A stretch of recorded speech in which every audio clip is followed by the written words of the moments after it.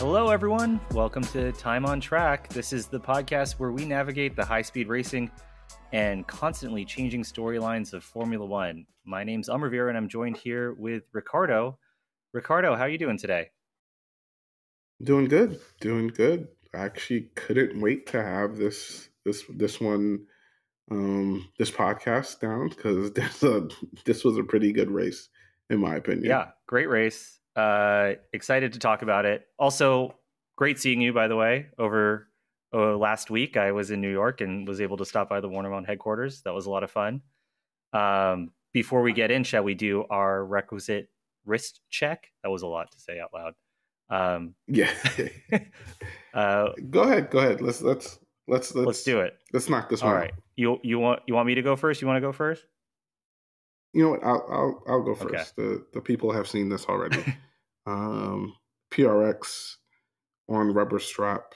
Uh, story behind this is this was a gift um, on the day. It was a birthday gift on the day that it came out, which was June fourteenth. I forgot what year, but my wife basically got it for me for my birthday, A nice gift. and I've I've I've had it for that while. There were months where I wasn't wearing it because I had a heavy rotation. Um, but the other day, I finally got the rubber strap to it, and I've been wearing a lot more. What about you? What you Looks great. It looks great on the rubber strap. I am wearing an acquisition that came kind of by surprise uh, from my trip to New York. Uh, I'm wearing a Raven Trekker. Uh, this is, I believe, the 40 millimeter uh, version of it. So the prior version, and I have it on a, a NATO strap. It's a pretty cool watch.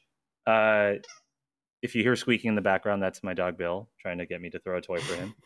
Uh, yeah, uh, cool vintage aesthetic to it. Um, pretty big slab side on on some of the case, so putting on a NATO kind of brings down the weight, but really enjoying it so far. So interesting thing, just because you bring up the squeaky, the squeaky sounds.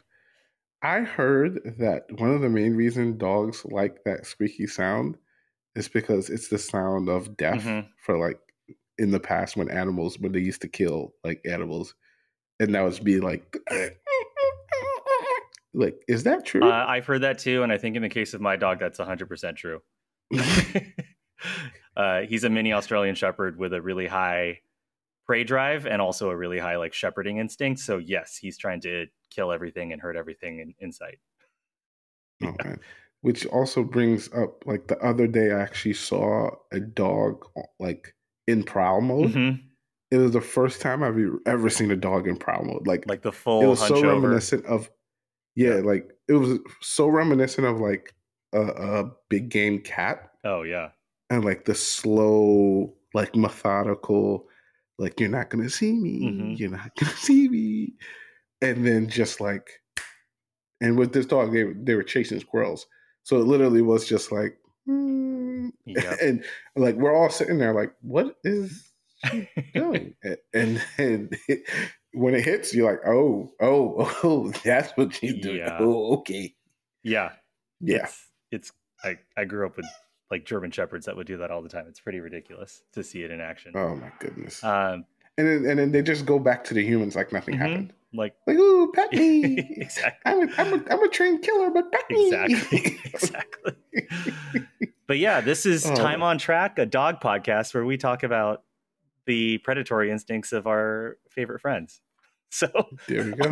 There we note, uh, you want to talk about Azerbaijan, this amazing Baku. Baku race, uh, the city by the sea on the Caspian Mhm. Sea. Uh, pretty crazy weekend. Uh, interesting end result. Uh, and McLaren has some interesting things to think about, but uh, not sure what you want to talk about first. You want to talk about qualifying or start there? I say let's let's jump into Mm-hmm. qualifying.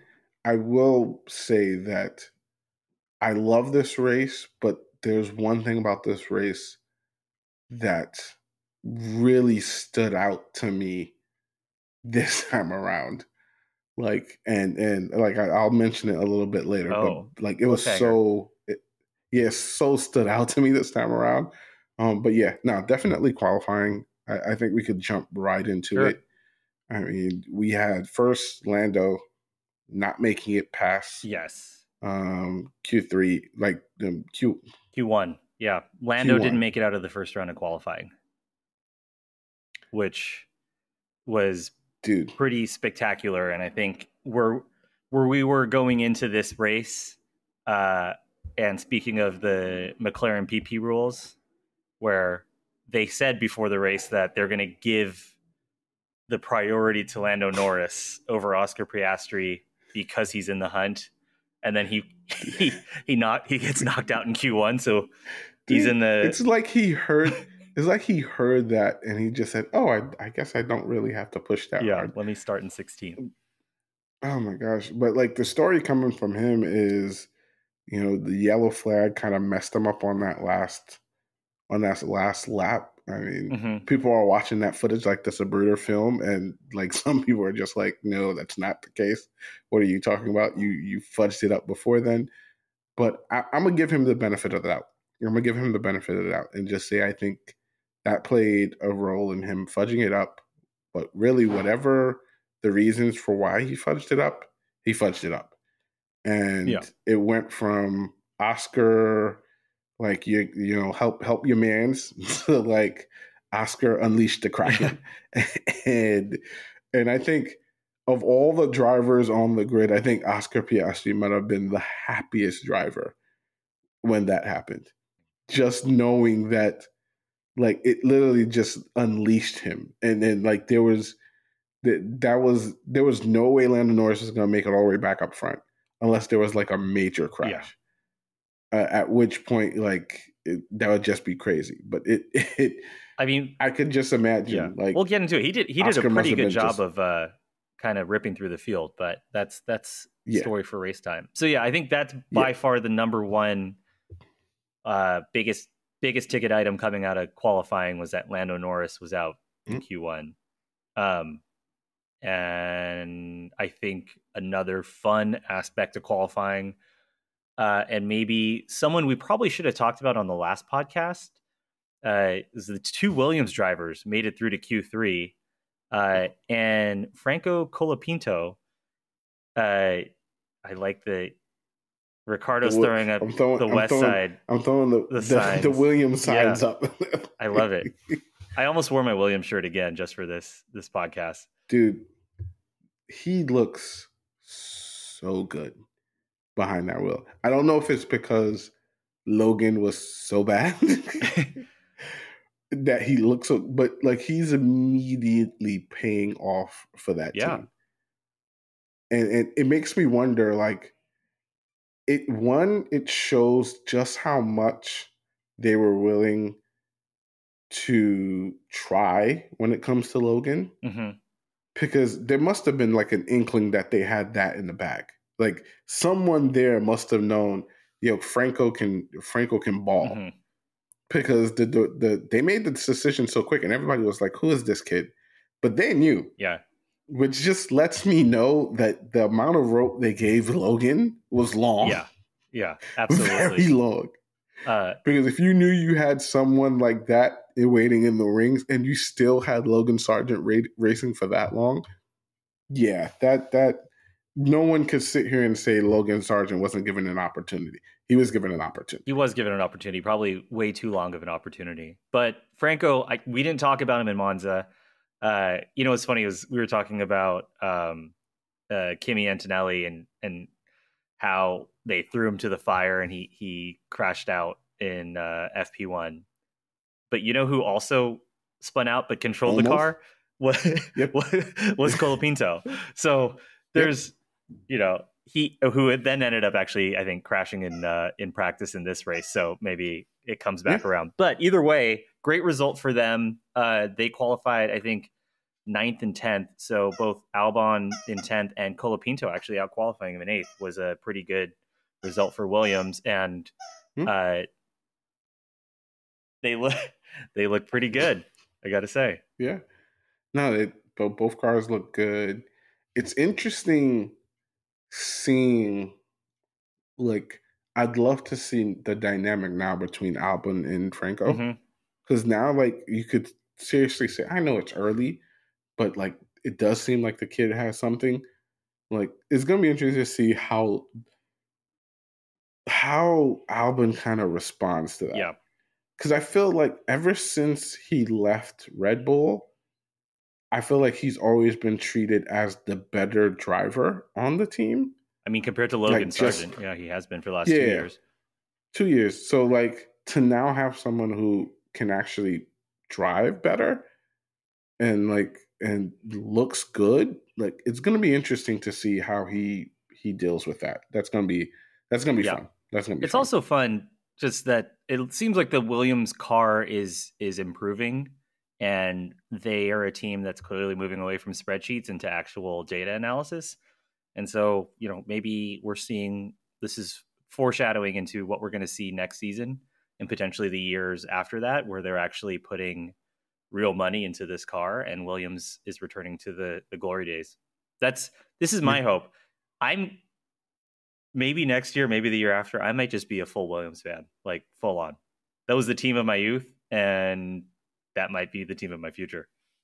Yeah, I'm, it, it's an internal question I've been struggling with. Like next year, do I am I a Lewis Hamilton fan, and by default a Ferrari fan, or am I just a Lewis Hamilton fan, and like I actually maybe root for another You're team? definitely getting a Ferrari hat. Red does look good on my skin, I have to say. But um, no, it, it, it's gonna be interesting because I I feel like the way Lewis looks nowadays, I don't know if he'll he'll be a full three years. He might just do two and be out. Like I I, don't see him doing two years of the new regs. Mm-hmm. Like I I don't know. I he he he so looks like the grandfather, and I I say this in the utmost respect. I'm not talking about skills, but he so has the grandfather persona right now, like I've never seen Lewis Hamilton loved this mm-hmm. much.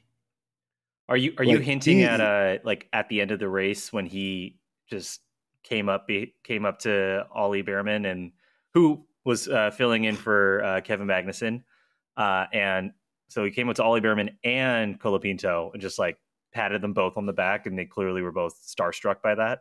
yeah, yeah, yeah. like it it and that that was one of the biggest things that they were talking about after the yeah. race. Like it it like he he is so in grandfather like mode. Mm-hmm. Like he is he's gonna be he's gonna be someone's Niki. I could already say to see that. Like he's gonna be someone's That'd Niki. be cool. Like like just really coaching them and helping them like in someone that they can trust and like they can go to because there's just something like I said, I've never seen him loved this much. Yeah. yeah. But yeah, that was that was that was Lewis. But no, I mean, we had Williams, had Norris, and we had another interesting thing, which which kind of happened later, um, like after qualifying. We had Gasly get disqualified. Yeah. Which was yeah, which was interesting. So he had his like, qualifying times um disqualified. He he was still allowed to race, but yeah, but he, yeah, had his, yeah. just, he had his qualifying times disqualified. Um, yeah, and that was because of a, a fuel issue. Is that right? Yeah, yeah. The, the fuel, I, guess. I'm trying to break this down as simple as possible. Like he had the fuel ratio or the fuel being pumped into the engine was higher than it was supposed mm-hmm. to be. Um, so yeah, I, I, mean, I could only imagine like that would just lead to more power for the car. Like it's more fuel being burned on every mm-hmm. combustion, which should increase the amount of power um, that the car has. What I really want to kind of find out, and we don't know really how, like, how do they judge that? To me, that sounds so much like when an NBA player has like a really good game and all of a sudden they test them for PEDs right after the game. like random PED drug test. Yeah. you ball you had 80 points tonight. We're having a random PED. That's what it just felt like to me. Like what was the defining thing that made them say, okay, yeah, we're gonna test, we're gonna see like what what what's going on. Because that doesn't seem like something like maybe you could look at the telemetry and you could look at the data. Yeah. That, that maybe possibly. I mean, so they're running the Renault power unit, so they're the only people running those units. So there's no one else on the grid that you can really compare him to other than his own teammate. Be interesting to Yeah. see. I forget what's what part of motorsport it was, but I was listening to a story recently of like, oh, I think it was Chris Harris was talking about this on a podcast, uh, who's like the Top Gear host, about how Toyota was cheating uh, in motorsport by uh, they had a, a bypass valve on their turbo. So their turbo was supposed to be restricted. So everybody running in the race was only supposed to have 280 horsepower. And then in the straights, the Toyotas were just blowing past everybody. And the drivers didn't know it, but the engineers did. And it's because they had this bypass valve. So the turbo was actually working at higher boost than the rest of the teams. So I don't know. This is speculation. I don't actually have anything to back this up, but maybe Pierre Gasly was just hauling it, hauling ass down the straights. And uh, everyone's like, hey, that looks faster than it should. yeah, yeah. maybe No, no, his no, trap speeds were higher than other people's, and he's maybe he was pushing Yeah. 225 when everyone else is at like 218, and people were confused by that. or more like they're like, uh, uh, that car should not be able to do that. That Alpine doesn't have that kind of speed, Pierre. Let's see your Mm. let's see your fuel to air mixture ratio. That's it. Yeah. That's it. But yeah, so that Um, that was the- an interesting thing. Um, and then that set up a pretty fun uh, starting grid because then you had uh, Gasly disqualified from qualifying, so he ended up, I think, starting 18th, and then Lewis Hmm. Hamilton ended up taking a new power unit, so he started from the pits, and then so did Esteban Ocon. I can't actually remember why. Um, so that bumped Lando up to 15th because of the Pierre Gasly disqualification. So you had a, an interesting situation where uh, the back half of the grid, or the back quarter of the grid, included Lando Norris, uh, Bottas, Zhou, Pierre, Lewis, and Esteban Ocon, which is Yeah. a funny, funny lineup back there.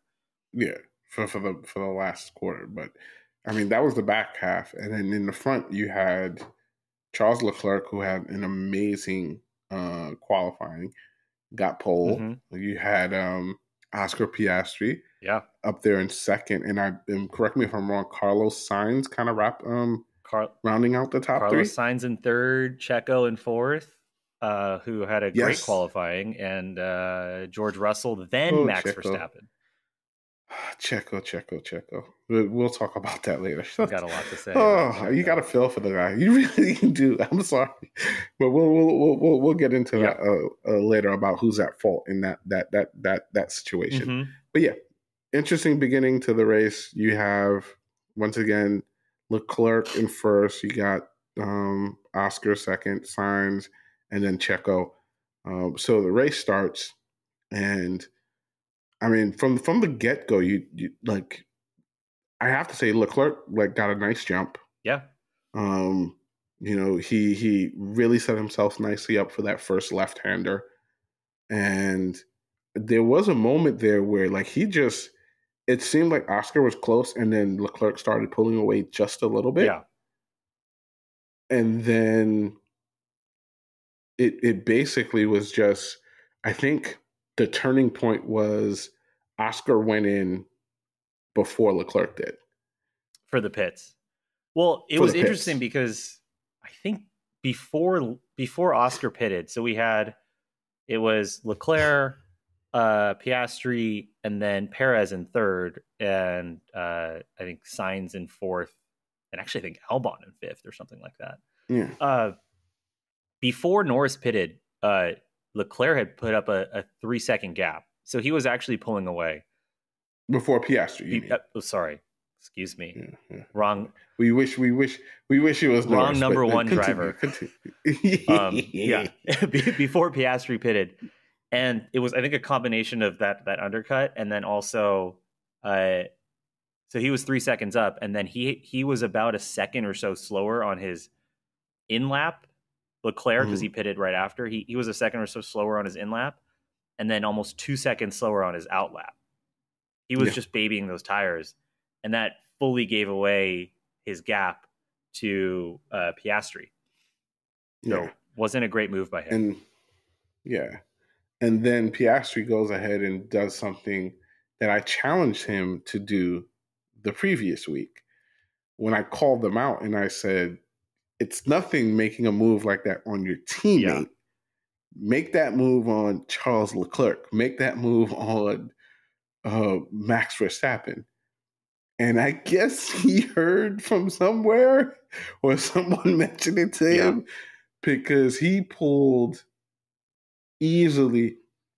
Before I even say that, he has a habit of pulling moves and he's able to pull them because it seems like the people he's pulling them against just do not expect it. Mm-hmm.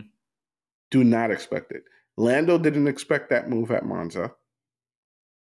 And I think was it Monza or or, or yeah, Monza. Well, yeah, he pulled that move at Monza, and if you look at that move here in Baku, mm-hmm. like it almost looked like Charles Leclerc is letting him like he's a teammate and Charles Leclerc has moved to the side to let him go. Like that's like look at the top down view of that yeah. move and see how to the right Charles Leclerc goes. And and like it really does look like teammates and, and you're like, okay, I'm gonna let you I'm gonna I'm gonna give you this this to let you pass me on the worst part so of, of the course. Leclerc did say that. Like he said both. He said exactly both things. One, he was surprised that uh, Norris made the move when he did, and then two, mm. he was he kind of let him go because once again you said Norris. Oh my, my God. gosh, I'm a very my gosh, tell me who you're really rooting for. My gosh, man. Honestly, I'm not. I'm not rooting for Norris. I just maybe I'm rooting against Max. I don't know. Um, but okay, so he Leclerc. that's ridiculous. Leclerc said uh, that he was surprised that that Piastri made that move when he did and um, late braked as he did, but at the same time also thought I can catch him again, um, and so mm-hmm. kind of let him by either way. Yeah. So yeah. it was a little bit of both, from my understanding. Yeah. It, so which was it because and and Piastri said something interesting. He's he and it kind of lets me know the type of race car driver he is. He was like, I made that move knowing that there was a 50-50 chance. I, I love that, that, by the way. I did too. like you would never hear that from someone like Lando. I hate to say it, but like he said like I made yeah. that move knowing there's a 50 chance 50 he chance I'm either gonna yeah. I'm either gonna eat the wall yeah. or I'm gonna make the move. Death or glory. Death or glory. he literally just said and if you look at the replay too, like it's literally if if you cut if you cut the film or the replay right before he's about to reach the wall, the outside right side wall, mm-hmm by all intents, for it looks like he's about to hit the wall. Yeah. It, it looks like he makes a turn and he's about to hit the wall. But then if you extend the video and keep on watching it, he barely slips through. Not only does he barely slip through, but then Leclerc, who has the better line now, tries to sneak onto his left side, and he immediately oh, shuts yeah, the he door. He shut that Charles. door very quickly. That that was honestly that that the way he closed out at the end to me was like the more surprising part of it. I was like, oh, yes. yeah, you're not going anywhere, uh, Leclerc. Yeah, like like when when most people would have been like in the moment, like, oh my gosh, yeah, I made the move, and and the other car just passes by. Mm-hmm. Like like it's like here's the perfect example. It's like someone in basketball dunking the ball and like getting all excited, only for the team to check it up real quick, throw it down, and get a yeah. layup. So it it it it it in my mind, I thought that's what was going to happen.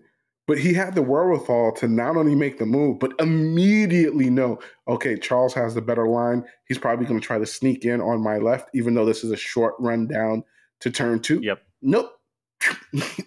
Close that down immediately. Yeah, it was an awesome move, and it it set up, I think, the rest of the the rest of the race. Right, like that was from there on out, it was game on between him and Leclerc, and those two guys were going at it for it felt like 20 plus laps of yeah. of Leclerc in the DRS zone chasing down uh, Piastri, Oscar Piastri, not Lando Norris. I can remember that. Um, yeah. And that was pretty exciting race. Like if you just want to watch like the hunter and the hunted all race, yeah. uh, that was a pretty. This is a pretty good one to to go back and watch. And it's it's it's so high pressure. Oh yeah, like like to be in that position as the hunted, hmm you can't make a mistake. right. You you you cannot make a mistake. You make a mistake, you, you giving up the position. There's just you can't go too wide. You can't you can't miss your line. You literally have to race. You're racing yourself and try to not pay attention to the to the person who's directly. But you're also you playing defense you- the entire time. the entire time. Actually, Like- that led to uh, my favorite moment of the Formula One season so far, uh, which was I forget which turn it is, but uh, Piastri came in hot. Uh, oh, Yeah. he he came in hot, hit hit the the curb and kind of full drift, drifted. and then Leclerc came in hot too and full drift, and so you had this like Yep. beautiful shot of both of them sliding at the same time through the turn, and it's, Yep. man, this is cool. Yeah, and that just happened over and over Yeah. again, which brings to a point what I was mentioning earlier about Baku, and and it was so evident this time around. Baku is nothing without that straight. The super long back straight. Nothing without that straight. You take that straight out of because almost every lap I was not paying attention to anything else. Like like I it, it the drama always happened on the Right. straight. The rest of the drama was just like is he going to make that turn? Is he going to get around the castle? Mhm. Like like is he going to have a lapse in in in in in, in what he's doing? And but, but those things were so secondary compared to is Charles going to get the DRS to be able to move, make the move Yeah. down the straight? And what annoyed me so much about that that whole battle was like there's there's there's an intelligence in racing that I was expecting to see in Charles, but I didn't see it at all What was that? like I, I think I think of like if Lewis was was was behind him in that car or if Max was like th- there's got to be some gamemanship. You can't keep trying the same thing over and over again. You can't. Like I felt like the whole time down that straight going to turn one every single time was Charles Leclerc trying to get in on the inside. Mhm. Every single Yeah, time. he didn't he didn't do It- any setup moves, and I think you no setup you even moves. saw this with uh gosh i can't remember if it was norris passing verstappen or russell passing verstappen but like Yeah. they they basically faked faked the inside and then went outside or vice versa yes. and and You saw Yeah, no Leclerc- setup move. Leclerc was just really was just trying to pull drs and let me get by you and Yeah, yeah, and and his car couldn't. I figure like by the fifth time doing that, you would have realized, okay, this isn't working out. Before I like kill my tires, like let me try something else. Like, like I mean, and and it, for Oscar, it must have been the easiest thing possible.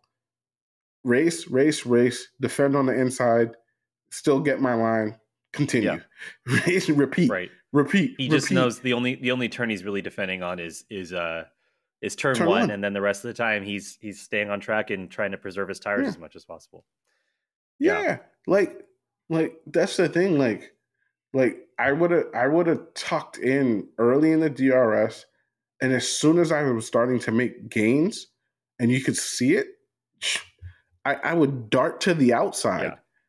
And and then and then I would just I would just late break a little bit and and squeeze him and squeeze him and make him think like, okay, are you going to do you want to make this corner or not? Yeah. like, like what do you want to do? But there was none of that. There was none of that gamesmanship. And I think a lot of it was just I don't know if it was overconfidence in in the car and thinking that eventually he would make the move, or eventually like the tires would wear for for for um for oscar for Oscar. But I mean, you look back at like all the data, nothing says those McLaren tires are bad wear tires. Yeah. So like I would just go on the idea of I have to make this move. The same way Oscar had the idea, I have to make this move now and lock this in. Like Leclerc should have been like, I have to make this move. right and I just didn't see No. it. Like it seemed like he was still shook daddy off the off the first move. Well, I, I Like, think I'm part like- of it was I'm- also it was Oscar and Leclerc just really right. Leclerc could have made a move, but then they were both Leclerc was really hoping Oscar would make a mistake and that he would, could put enough pressure on him that he would make a mistake and then he could take advantage of it. And he didn't. He uh, there was no like opportunistic or defensive move that was uh well like too tried too hard and it and it ended up in Oscar's favor because they both were Mm. level-headed in their racing and they both were uh, pretty concise with their movements. Uh, Yeah. and I think that's that's that that pressure didn't get to Oscar as it Yeah. might have for maybe uh, Checo, Perez, and Carlos Sainz. You want to talk about that? Dude. Dude. So just as a Dude. setup, Side yeah. note, side note, before we talk about it real Uh-huh. quick, Alonso would have made that move. I'm just gonna say that. But but I digress. yeah, Alonso would have made know that we move. know Alonso would have made that move. Alonso would have made that. If, it, if he was Charles Le- in Leclerc's Mhm. car, he would have made that move. But we continue Yeah. to the most and Oscar ridiculous might last Oscar lap. might have been in a wall at that point too. Yes, yes, yeah. But that's- yeah, that's Alonso. Uh, yes, that's a lot. but yeah, so we had because we had basically twenty something laps of of uh, Leclerc chasing down Piastri uh, in DRS. Uh, it started to bunch up at the front, and you had two guys kind of licking their chops. Uh, I'd say most people were probably focused on Checo, who was in third, who was Mhm. waiting for one of those two to make a mistake and be Yep. opportunistic too. But what Checo didn't realize is he had a fourth guy also waiting in the wings, which was Carlos Sainz, waiting for his opportunity. So you Yep. had four wide, three wide at some points um, at the top four, and and the, the other aspect to that was this happened as Le- Leclerc's tires basically fell yes, off. he So Leclerc p- started pushing both of those cars back. mhm. and and and here we have Oscar Yeah, just riding off into the sus- sunset. off. He he had quite the gap, Took off. and then all of a sudden now everyone's bunched up in DRS, Mhm. chasing each other. Um, one side note on on uh, Leclerc's tires, I had a feeling he was going to drop off off a cliff like out of nowhere because he had a radio comment um, after his his after his pit where he's like where Mhm. Sainz was kind of up his behind and and uh, so was um, Piastri, and he was or he was kind of in the sandwich between the two, and he basically was like, "Is there something wrong with our tires, or are these guys just pushing harder than me, or do they just have more grip?" And it was cl- I was like, Yeah, like oh okay. So his he's clearly not getting the he's he's he was pushing this that's Mhm. what that told me was i'm pushing really hard right now what's happening how are these guys going this fast and so Yeah, he was he was not managing his tires as much as he wanted to and that's why they fell off Mhm. a cliff but so they fell off a cliff at what like lap 49 48. okay 48 48, 49. Yeah. and then we had on lap 50 uh Yep. we had the move by Perez where he tried to overtake Leclerc, right? hmm And then He missed it. Leclerc went inside Yes. out on him, and then Carlos Sainz went in for the Yes. in, who went went along for the ride. and then so so then we have Sainz basically now now in front of Checo who was Checo literally went from second to third to fourth. Yeah, like and you got to five six. you got to think about this for Checo. He's had such a bad stretch of races, and regardless of his result in Monza, like no one's been giving him any credit, and he finally is having like a good weekend all around where he looked good in practice, he looked good in qualifying, and for fifty out of fifty-one laps, he looks like he's ready for a podium and actually could potentially sneak into second place. Um, so he's hungry, and he might be a little bit eager and a little bit eager. So he makes that mistake with with uh with with Charles Leclerc, lets Sainz go by, and then Sainz also is eager, looks at potentially going on the outside of his teammate, like, oh hey, maybe I can get second here. Um, and then Mhm. he doesn't get it and ends up on the outside coming in. Both of them are trying to get into Leclerc's slipstream, and they Mhm. make contact, and it results in two of the funniest radio messages I've heard in a while. Checo's losing his mind, calling calling Sainz an a hole, saying, "What is this guy doing? What is this guy doing?" And then the Sainz messages, Sainz. "What happened? Sainz just sounds so guilty. Like, What happened? what, what happened? he goes- what happened? I don't know. What happened?" Don't It was, it was the, it was the most. I definitely know what happened, but what happened? yes. No, Oh, I will say this, and this is where I'm going to state who I think is at fault. Okay. You ever hear when someone knows they're wrong, they tend to be the loudest person in the room? hmm That's what that that told me. Like hearing Checo, Checo, I I put most of the blame on Checo. Oh, okay. We are in agreement. Yes, most of the blame is on. yeah, most of the blame is on. For Checo. those listening, we, we, we saved this as a to- surprise for the podcast. I, I wanted to Yeah. know because this has been very divisive on the. This is more divisive than Studio Underdog making a collaboration watch for Moser. Yes, yes, yes. Much more. People- much people more. seem- Though close. Though Yeah. close. Actually, I take People it back. are- They're very close. And there's there's our watch integration into the podcast. Um, There we go. people are divided families amongst uh, was this Checo's fault or Sainz's fault? And No, this this this this was definitely more Checo's fault. yeah, I, fault. I certainly side with Sainz. Like, because here's the thing Checo had a two lane highway of room to move into. He had Exactly. a ton of space. Exactly. It, you know what this? It's like it's like being on a highway and someone is switching lanes, and Yeah. instead of making a a, a, move to avoid Mm-hmm. it, you just yell at them like, "What are you doing? What are you doing? Oh. What are you doing?" Ah! I was- and then they hit I was watching this on a train. I was literally watching this on the New Jersey Transit on my Mhm. phone, and they had the cockpit view. I think it was either an overhead shot or a cockpit view, but either way, I could tell that Checo was not turning, and you could see that Sainz was pulling forward into the racing line to get behind Leclerc. And so it was funny because after the race, Checo was like, "It all happened so fast. I don't really know what happened." I saw it live, and I said, "What are you doing?" like, Yes. like on the train, watching on my phone, I yelled out loud, "What are you doing?" because I saw he's you didn't move at all. at all, at all. Like, This like, is dude, yeah. like, I don't have supervision of a professional athlete. I'm watching in real time, and I could see, dude, just move over an inch, just an inch. like, like, or, or come off the throttle a Yeah. little bit. So Like- many like- options here. like dude like I, I understand as a driver like especially when people change lanes you so want to just be like oh they didn't see me Mhm. oh oh it's their fault but think of it this way in, in take those two people one person not see the other one person see both of Yeah. them you as the person who sees what's going down needs to make the executive decision to pull back Mhm. or, or or move over. Like you can't just like be like, uh, uh, uh, uh, Yeah. and, and, crash him. Like you, this so reminded me uh, of of Monaco. This so reminded Yes. me of Monaco. It's the same it's, thing. It's, it's just, the same thing. Just like move you over a little bit.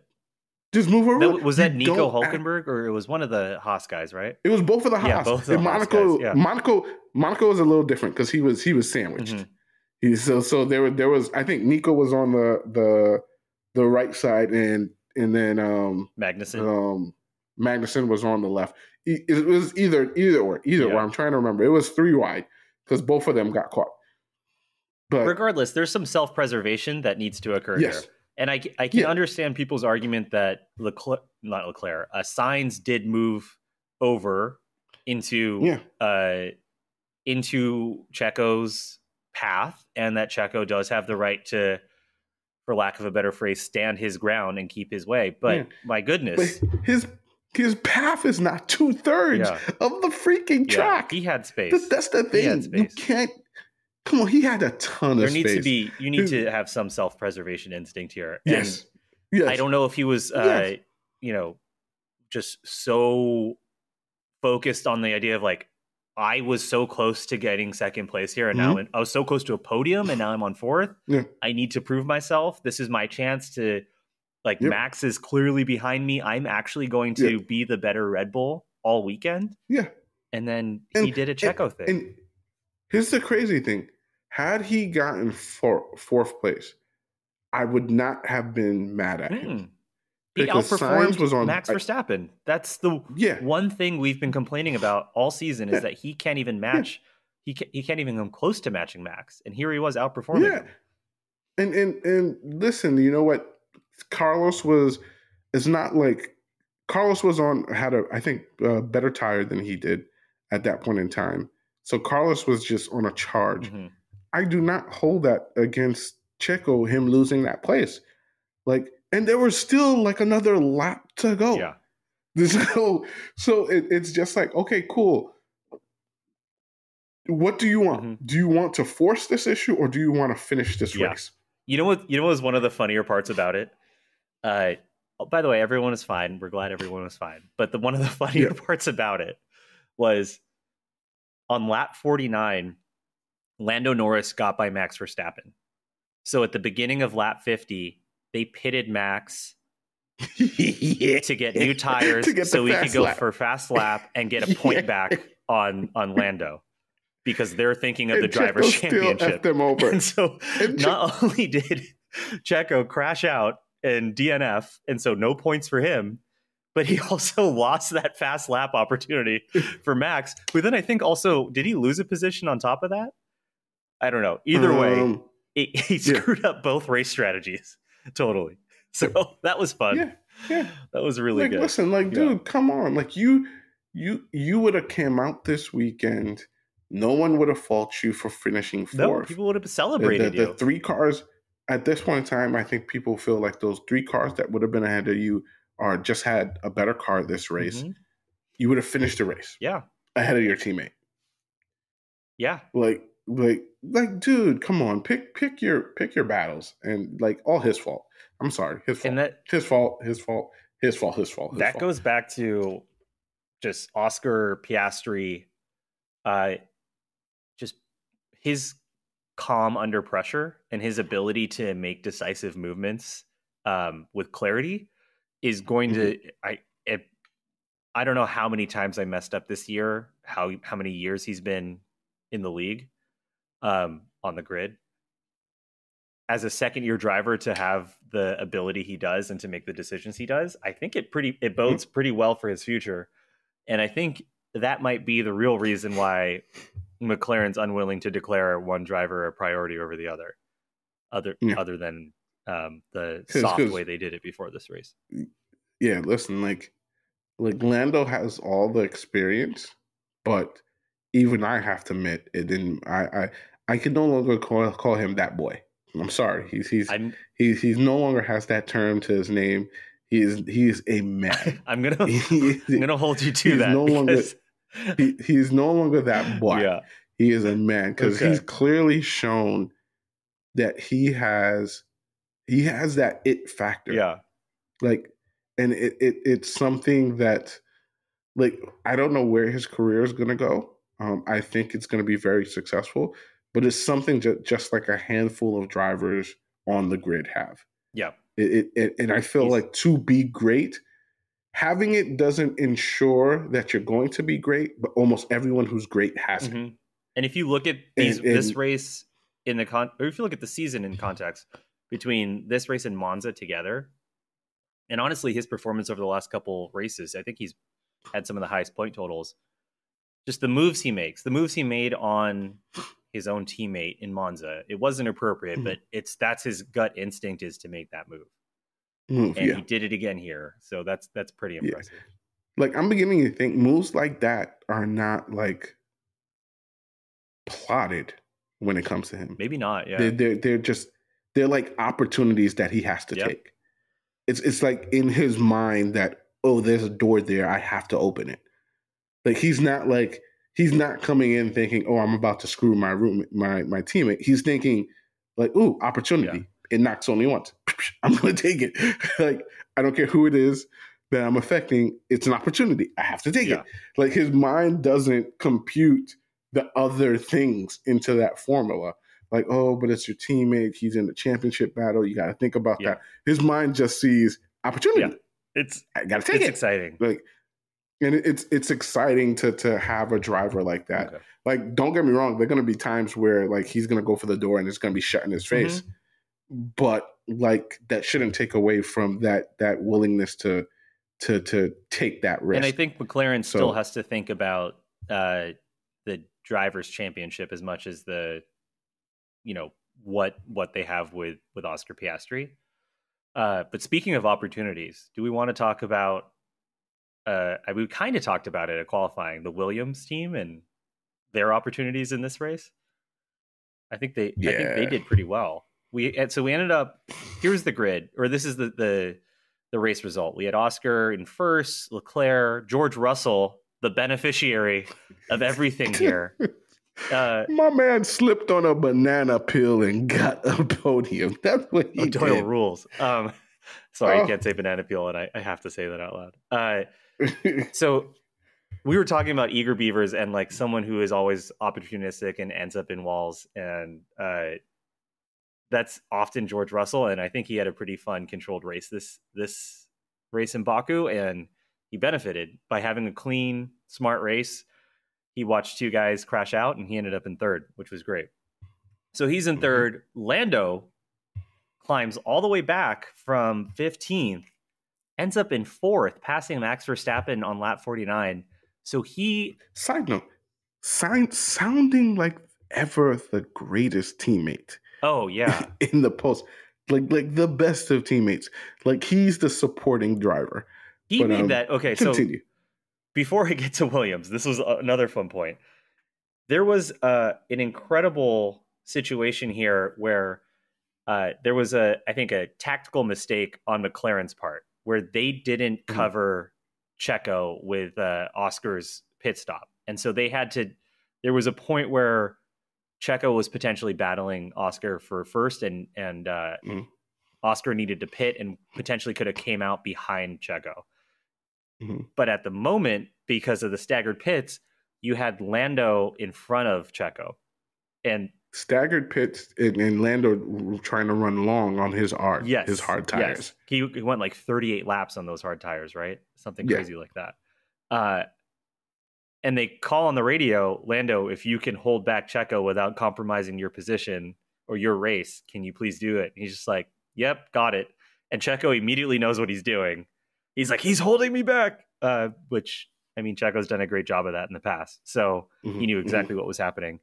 But that that was teamwork making the dream work because he held Yep, off Checo like literally by the second, just enough time Yep. for Oscar to come out in front of him on that on that pit stop, maintain his lead, and ultimately win the race. So amazing work there by Lando Norris.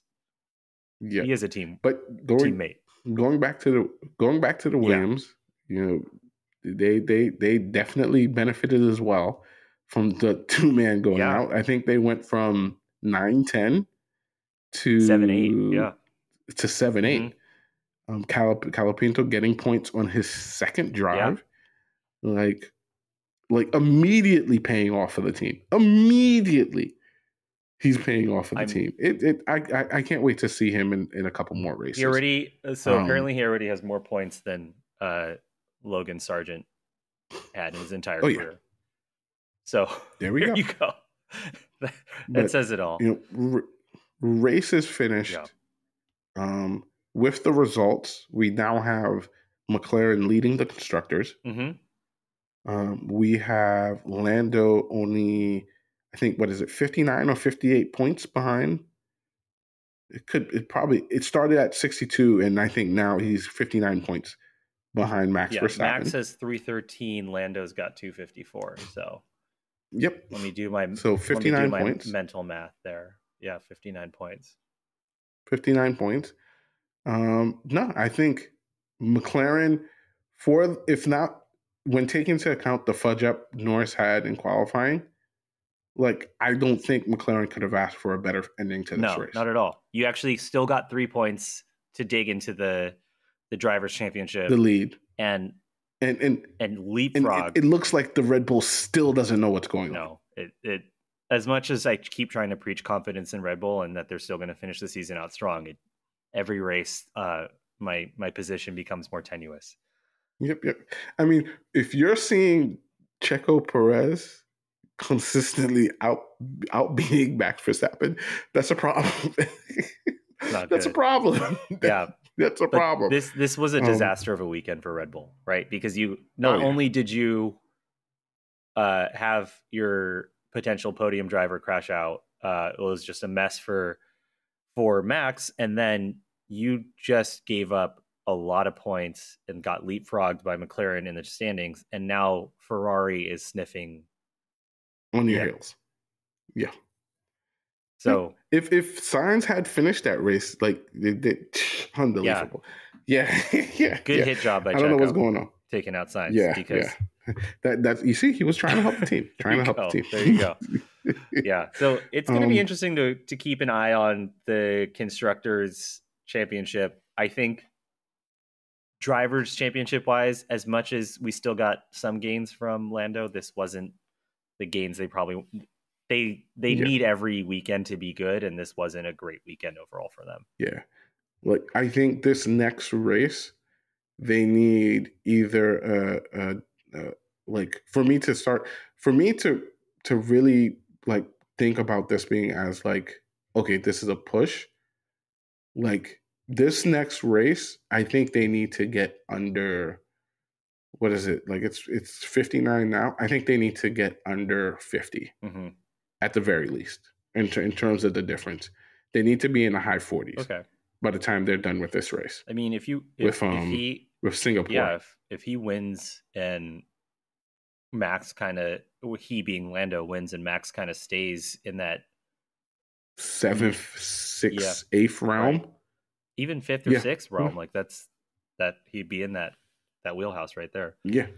Yeah, and I think that's what they need. That that's honestly what they need for me to take this seriously. If it's another three pointer or four pointer, I don't think they're making it back. I I really don't. And mind you, I think Max still has to take parts though.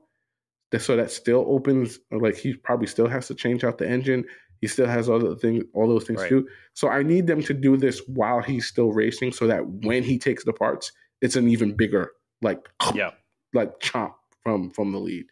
But um, be important. You know that was the race, but you know we wanted to take a chance to kind of switch things up a little bit and kind of delve into some of the things like we just saw in the race and some of the technical aspects of the mm-hmm. race. Um, so we have a little thing called how the tech was won. Um, and we, I mean, we've talked a little bit about these things already. Um, we talked about Oscar's move, which I mean, clearly, I mean, if we dig into it a little bit more, it does seem like the McLarens one have just overall they have better pace, but it also shows just how much better they are in terms of um, bringing in the tires um, their ability to to last longer on the mm-hmm. tires. Mm-hmm. Um, all those things I think played a part in that move. Um, that move was definitely a move of confidence. Like I know Oscar says that it was a 50-50 chance he hits the wall, but to he I don't think he would even be thinking about that move if he was in another car. Yeah. I, I think he he's thinking like that move. I there's a chance that I can make that move in this car. Yep. Like on these tires. Well, also, and, and it just stuck. It, tires were an interesting part of this whole weekend. Uh, so we talked about Oscar's move. We talked about Leclerc kind of in that conversation of tires being clearly pushing and not understanding where other people were on their tires. I think everybody had mixed results on the tires this weekend. There was mm-hmm. something where the mediums weren't getting up to temperature, and I think a lot more people yeah. were a lot more comfortable on the hards. Uh, yeah. So it, that was interesting to see, and it, it, seemed like the cars varied too, because I don't think hmm. actually mm. Max Verstappen was happy on the hards. I think he was bouncing around no. a lot more.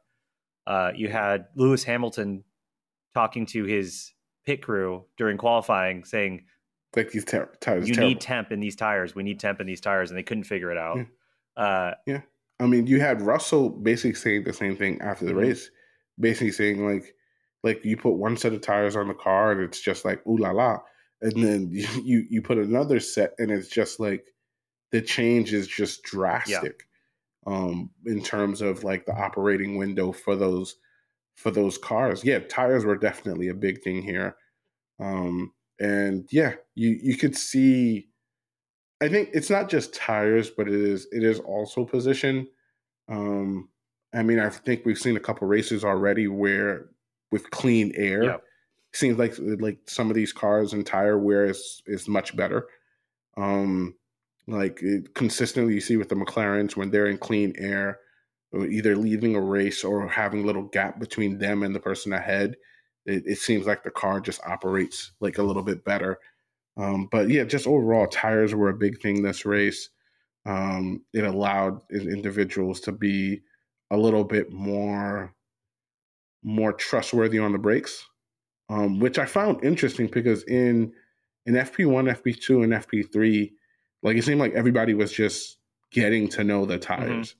And it, it didn't seem like, like, even anyone. A lot of teams didn't get really as much data on the maybe the hard tire, which proved I think yeah. to be the better tire for the weekend as they as they might yeah. have wanted to, which was which yeah. was interesting. Yeah. So so that was that was you know Oscar's move, Charles Charles in in the tires. Um, another another interesting tidbit, like, and it's it's it's come up since um, the end of the race, is this this I wouldn't say issue, but this thing going on with McLaren's rear wing. Um, if you've if you guys are listening, just do a little research, just do a quick search. Um, so if you're listening, chances are you know what DRS is and the drag reduction system.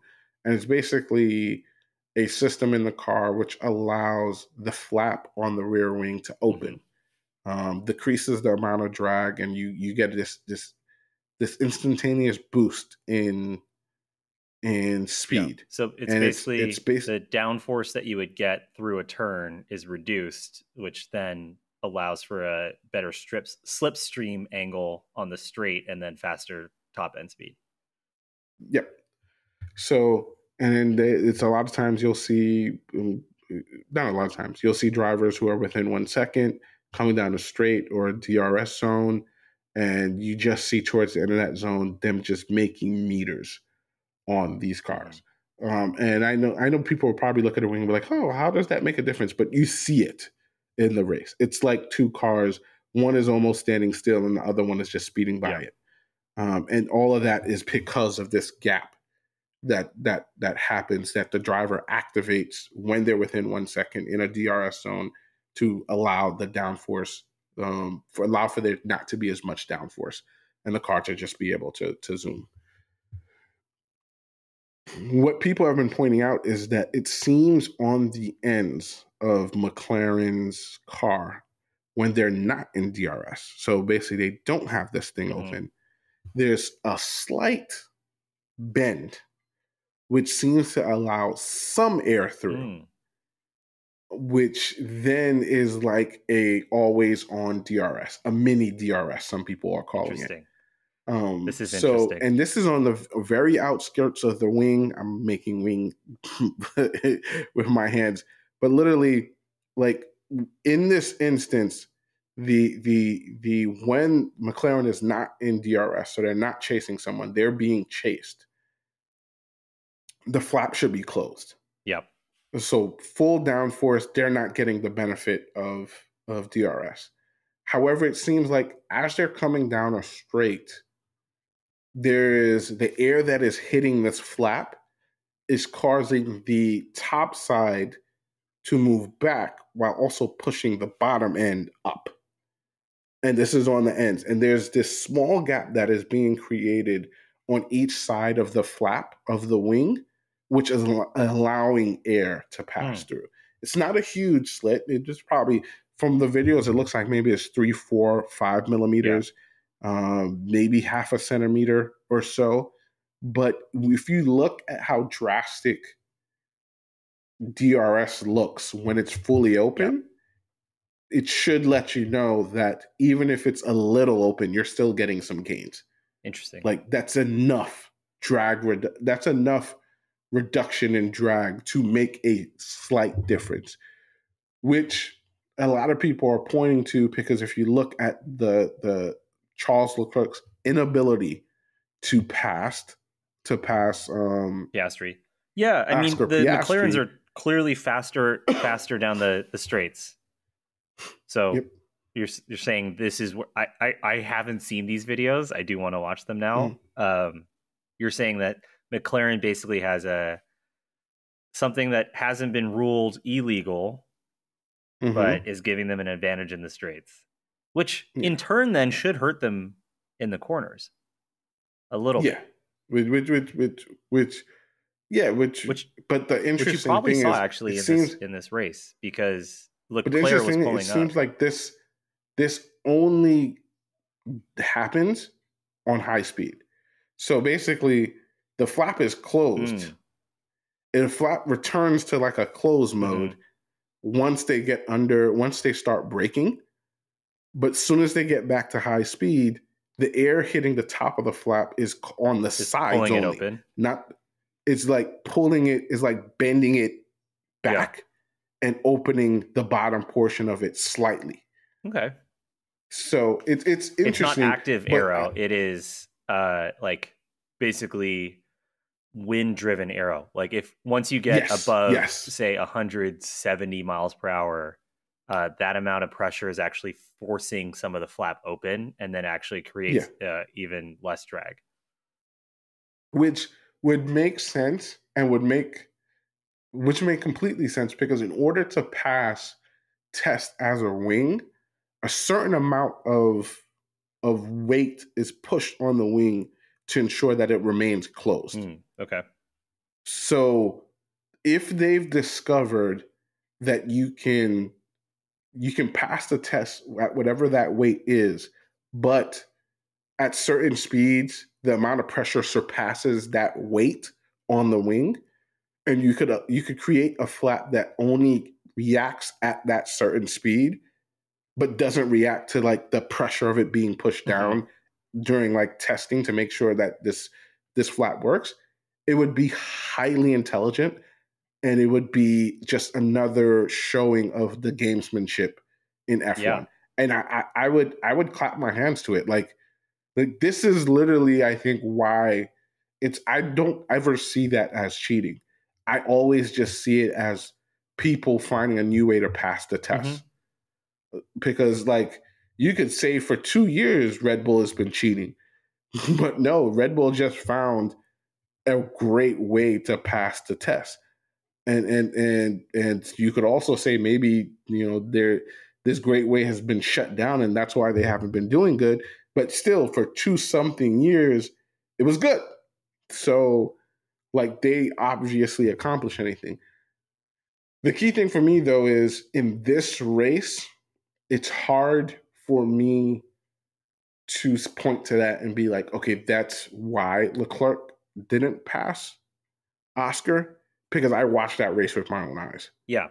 And I saw Leclerc's inability to to test and make and try to make a move. Yeah, he was pulling within um, striking distance regardless. I mean, and also this is the longest eh, longest back straight in Formula 1. So this would be the the place where they're going to get the most benefit out of that potential modification mm. or whatever aero Um, it's that's an interesting concept, but at the same time, yeah. there's probably some reduction in downforce then on the turns, and you should be as Leclerc able to make up that difference in the in the rest of the track when it gets tight and twisty, like around the castle and things like yeah. that. Yeah. So yeah, it's it's it's interesting to think about, but like I said, I, I think this was more Leclerc's inability to to really get by Oscar. Yeah. I mean, Oscar was playing good defense, always covering the inside line, but at the same time, I think with Leclerc's experience, like he should have found a way to to to to psych him, you know, kind of you know pull him in one way, go the other. You, you, racing is not just I'm going to overwhelm you with speed. Mhm. Like you have to you have to find ways to play with your your with your competitor's mind. And I just never saw him really do that. Mm. I mean, if he thought maybe he thought pressure, like you said earlier, was the only thing he needed, but clearly, like Oscar is showing pressure doesn't really phase Right. him.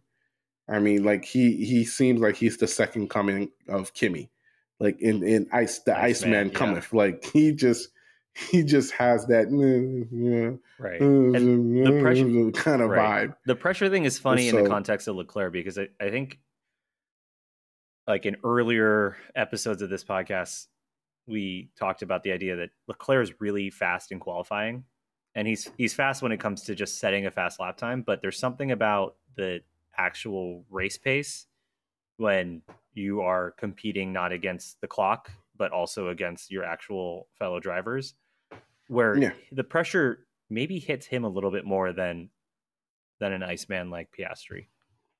Yeah, yeah, and I think that that just may be the case. I think, but that's why, like I pointed it, I said like someone like Alonso or someone like Lewis, or Max, like the really or Max Verstappen. um, oh yeah, the really experienced driver would know.